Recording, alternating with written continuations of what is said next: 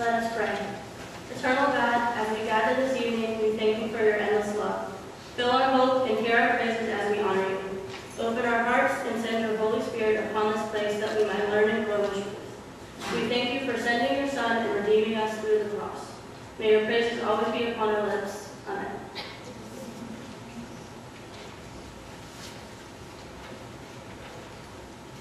On behalf of the Board of Stewards, we'd like to welcome you this evening the worship service here at the Charles E. Cable Memorial Chapel. Tonight, we'd like to extend a few thanks out first to the UNC uh, G-Check Women's Glee Club for providing music this evening.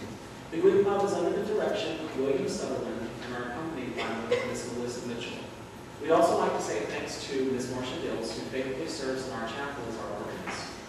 We'd also like to extend thanks tonight to Phi Mu Sorority, who are serving as our worship leaders and fellowship hosts.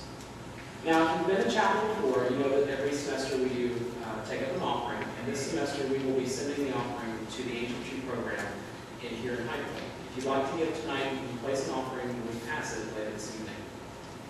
We'd like to invite all of you back next week to join us for our uh, Wednesday night service. The music will be provided by the chapel choir and Randall Atchison.